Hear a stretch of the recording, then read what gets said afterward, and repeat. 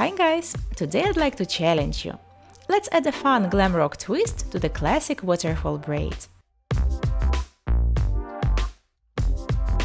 So bring your hair to one side and pick three strands of hair. The bottom ones will form our twist. You want to pass the top strand between them, placing it over strand 1 and under strand 2. Then release it and twist the upper strands, placing strand 1 over strand 2. Now you need to pick a new strand of hair and also pass it between the twisted strands. So the new strand goes over strand 1 and under strand 2. Then you release it and twist the upper strands. And then again, pick a new strand of hair and let it go over strand 1 and under strand 2.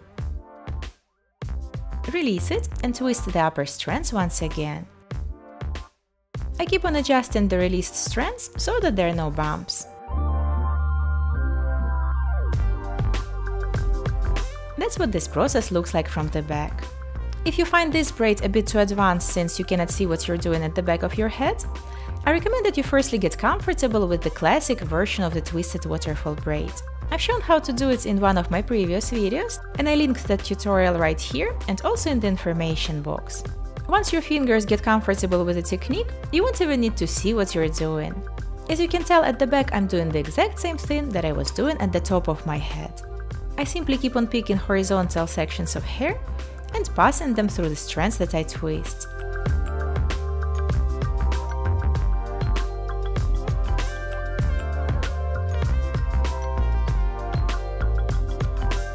And once I incorporate all my hair into this twist, I secure the two strands of hair with a small elastic.